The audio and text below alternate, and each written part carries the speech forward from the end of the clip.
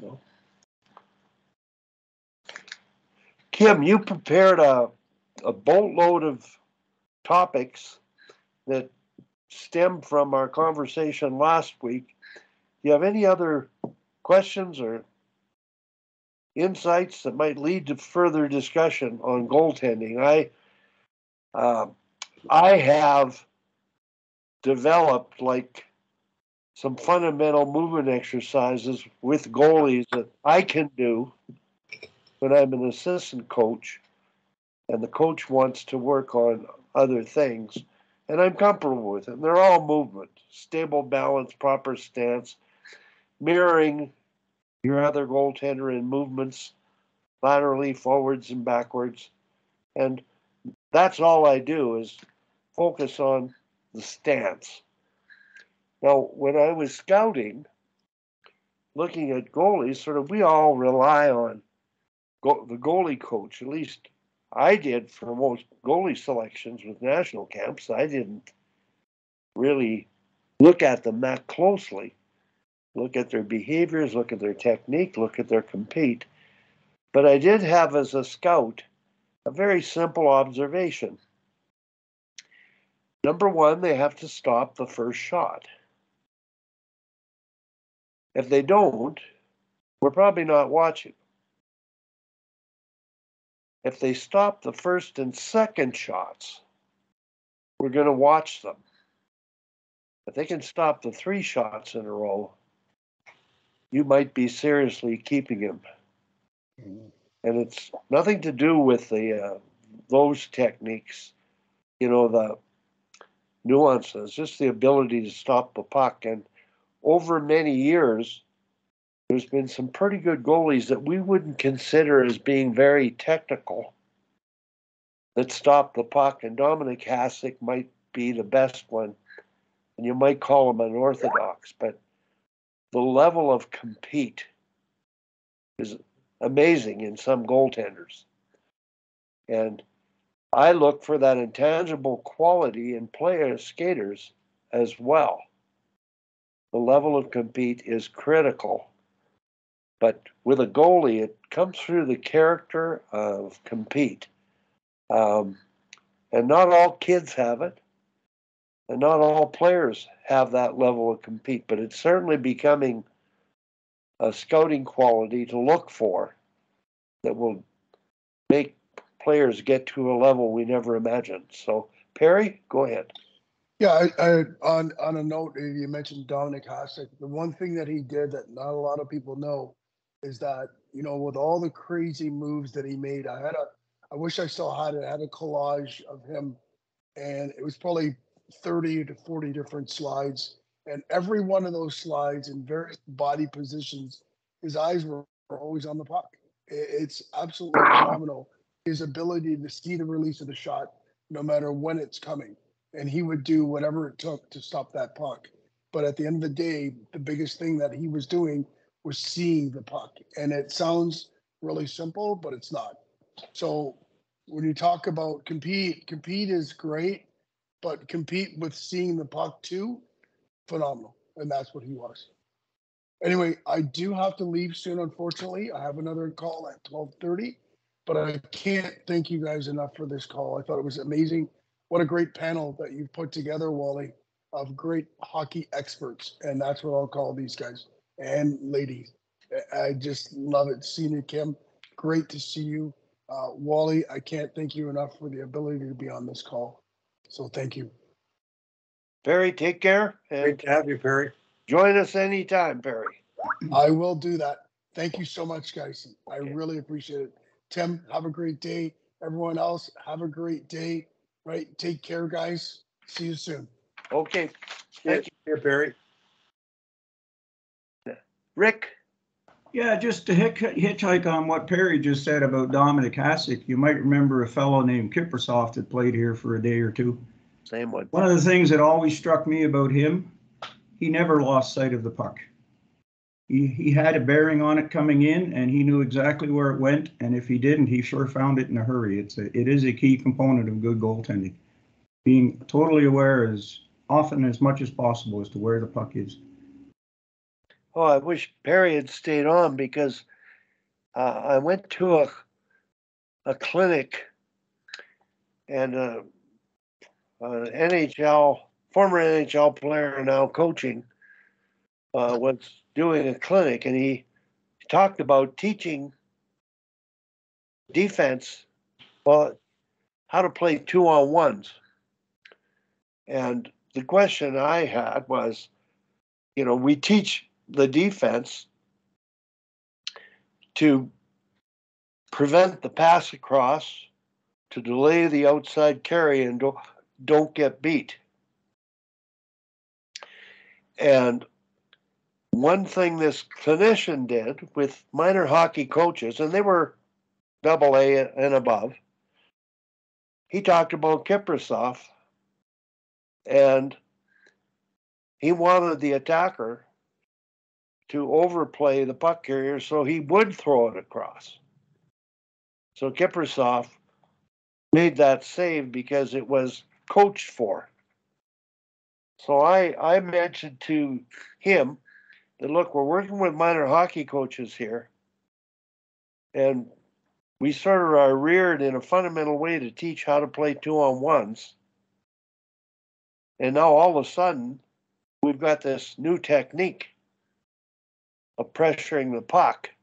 And I was a little little concerned that fundamentally we're sort of conditioned to teaching a D how to play a one on one and a two on one. Uh, do your layout, but you you prevent that pass across. And in this case, you're encouraging it, and it worked for Kiprusoff.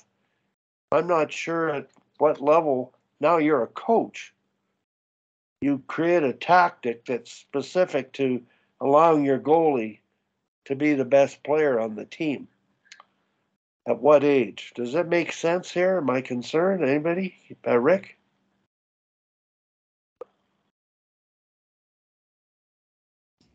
Well, my first thought on that, Wally, was uh, what I, a little bit of what I referred to earlier, where we're changing the game dramatically for one group of people.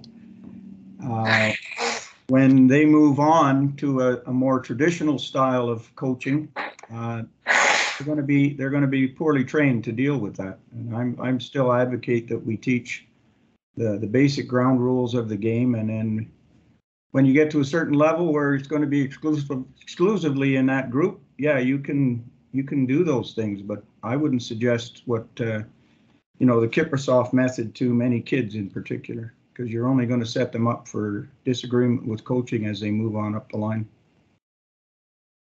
Okay. Anybody Anything else to add on the goaltending side? I would just add, Wally, like on that point, I'm just again thinking about my U9s and even the U11s I coach. Like, I don't think that's a bad strategy. like, again, it, at least as a skill set. Like, for example, we teach our players to wheel it out no matter what right now. They say, well, what if there's, we say, don't worry about what if there's, just wheel. Try to hold on to the puck right? See how long you can sustain it. Is that what I want them to do in junior hockey? Absolutely not. But uh, based on their strengths right now, it actually makes a lot of sense, right? For the first half of this season, we told the U9 players just hunt everybody down. You know, we've just started doing two on ones. And I would say the most effective strategy is going to be to hunt the puck carrier because the chances of her making a pass through pressure and the other person being in the right place or receiving the pass is way less than our players' ability to attack the puck carrier and create a turnover. And I would argue that might still be the case in U11, but you ha- it has to be taught in a message of this is a a tool to use as opposed as this is always the right way to play a two on one, right? But I, but I think in in the female game at least, and, and certainly at the younger lower levels, right? The more aggressive you are, the more it's going to work in your favor, right? Um, the ability of players to execute tape to tape and make, you know, east-west passes that create scoring chances, generally at the double B and B levels and at the younger age groups, is a much weaker skill than their ability to skate in and, and shoot it uncontested on the goalie. But again, you know, as Tim always says, it's never, never, and always, always. But or whatever it is, I'm not smart enough to figure that out. I didn't go to Brown, but um, yeah, so that would, you know, for me, I would do that at the young age groups for sure. I would teach that, um, or at least more aggressive uh, to the puck carrier, um, and see if they can make that pass. And hey, if at U nine those girls can make that pass and score off that pass, I mean, God bless them. Good job, guys. But if for team success, I would teach them to hunt that puck carrier. a number one draft pick, played in the NHL, running a conditioning camp, doing two on ones, and he came up and told me that uh, played for Chicago. He said, uh, "No, we take the puck carrier all the time. We force them to make a mistake early." My my fear of doing it at a young age, Kim, is we've been reared on conventional playing of defense. And, and are we going to lose the ability to transition skate forwards to backwards? Because now we talk about surfing the puck carrier in all three zones, particularly the neutral zone, but now in the defensive zone. Uh, so the balance of transition skating, backward striding, mohawk pivoting, and the way we've taught how to play one on ones was always a mohawk, not a surf. so I don't know. I I'm like you, Kim. I, I wouldn't do it that young, but if it's going to get results, but at what stage is backward skating not essential and pivoting not going to be a part of the game? Will they not develop it? So, Tim, go ahead. Just really quickly, at no stage will backward skating be unimportant or pivoting be unimportant. No matter what the development of the game, I would argue that there's still essential skills because, well, the game's not going to change that much. You still have to be able to skate backwards efficiently and effectively and, and pivot efficiently and effectively. And I, I'm sorry because I just jumped out um, uh, to tend to the kitty and get a cup of coffee. If we are talking uh, defending two on ones, were you just recently? Yeah, we're talking about Kiprusoff and the fact that whoever was coaching at the time was doing a clinic and he talked about we let Kiprusoff have the drive skater on the wide side. That was he wanted him. He demanded it and he made great saves that way. That's the way they played two on one. So they they pressured the puck carrier on the drive drive. And I question the doing that at a coaching clinic to double A and triple A coaches and now all coaches beginning to adapt that technique. And what would happen in terms of development? Might increase outcomes. I guess Perry was on and say this might be a question. It's good for the goalies if they move well laterally and they're small. But I don't know. It's it's just a new way of looking at things and thinking about things. And Kim, your U9s, U11s, it, it does make sense in terms of competing. But uh, like Tim said, relying on the still having mastering all skills, all direction skating, with and without a puck at all positions. And uh, positions are interchangeable. Today, there's much more interchangeability. Defense are involved in forward and direct attacks, and uh, forwards have to cover behind. So uh, it's all good discussion. You know, I think it, it it really makes sense. I'm not sure what I would do. So, what are you going to do, Kim? Are you debating, advocating it now? No, well, there, there's lots of subtlety here. Like for starters, if you have a goalie like Kiprusoff at the at the elite level, and maybe you could say that's Bantam, AAA, and higher. If you have a goalie that says, "I want you to pressure the puck carrier because I'll take the the the you know the off puck player and I'll take that breakaway." If you have a goalie that wants that, have at it, give it to him, uh, because you know, you, could break up a lot of plays. Um, but the flip side of that really is if the goalie really wants that, why don't you give it to him and take away the pass all the time? Like it, it's the same situation. And granted, the one difference is you don't have that opportunity to break up the pass, so I get that. But uh, the other piece I would add is, and maybe this is something you could work with your U9s with, um, Kim, is the D recognizing is the player with the puck. Is her stick inside or outside? if it's inside, coming down the middle of the rink, two things. They have a better shooting angle on the goalie, making it harder for the goalie. The other thing is, if you can get them on their backhand by pressuring the puck, it's way tougher for them, especially nines, but at any level, to make a, a good pass on their back end to the open player. So that's maybe a starting point for pressuring on a two on one, which I generally don't agree with. Um, is if the stick is on the inside, then a better opportunity to pressure and a better situation to pressure in versus if it's on the out, outside. Um, and that's, you know, some detail, but mm. e- even just that at, at a really young level, if the stick's on the inside, better chance to pressure. If it's on the outside, maybe give it more to the goalie. But the last thing and the most important thing for me is the D should always, once the puck is starting to get inside the circle tops, the D should always be in the prime scoring area. And you see it time and time and time and time again. NHL level doesn't matter where the D gets way outside at the dot line and gives up a clean breakaway down the middle. Like that just makes zero sense to me. Zero sense. Okay, I- Especially with all the Royal Road studies where even at the most elite levels, you're never, you should never score. Like you score 1% of the time from outside the dot line. Why would you move outside there and give up a prime scoring chance down the middle? Makes zero sense to me. See, I, I, I'm sort of thinking about what Kim said and before we get to Hal and Kim, and I'm thinking the, when you pressure the puck carrier all the time, it's in keeping with Kim's system of play. Always pressure the puck. If you're closest, pressure the puck. It reduces the options, provides less in time and space for the carrier, and it makes sense.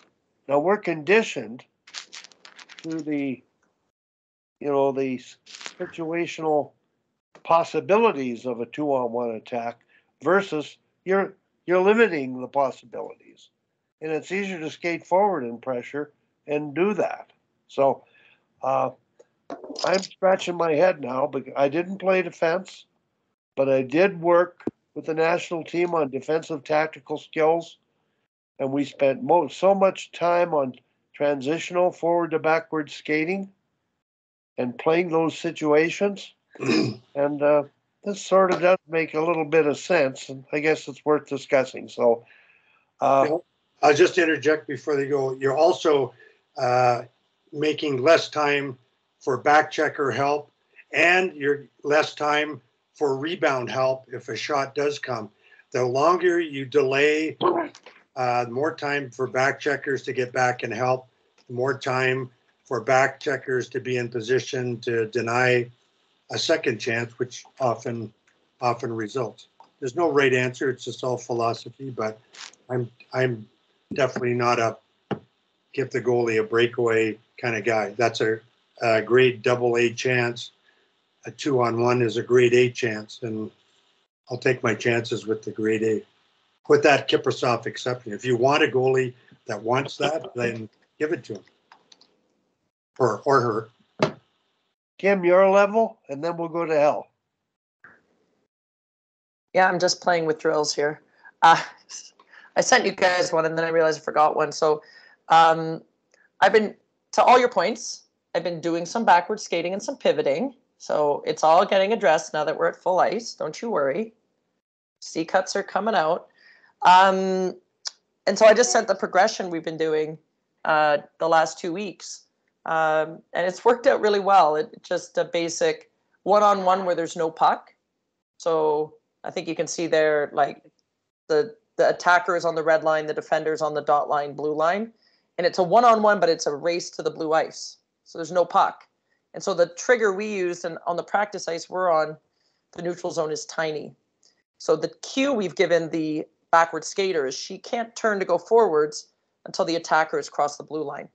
And the timing of that, I kind of figured out works really well for our age group, but they have to take some number of backward strides first before they can turn facing the player and try to beat them into the blue ice. And we've done that every practice. So certainly the practices we have no goalies. There's no puck, but just that intention of turning and winning the race to the blue ice, I think is a really strong one, whether there was a puck or not, right? I mean, this is if you get beat, you got to get back to the blue ice. If, if she's going to the blue ice, you got to get to the blue ice. So we started there. The coaches kind of gave me a weird look. They're like, that's not really a one on one. I'm like, no, this is the essence of a one on one. Then we added a puck, same drill.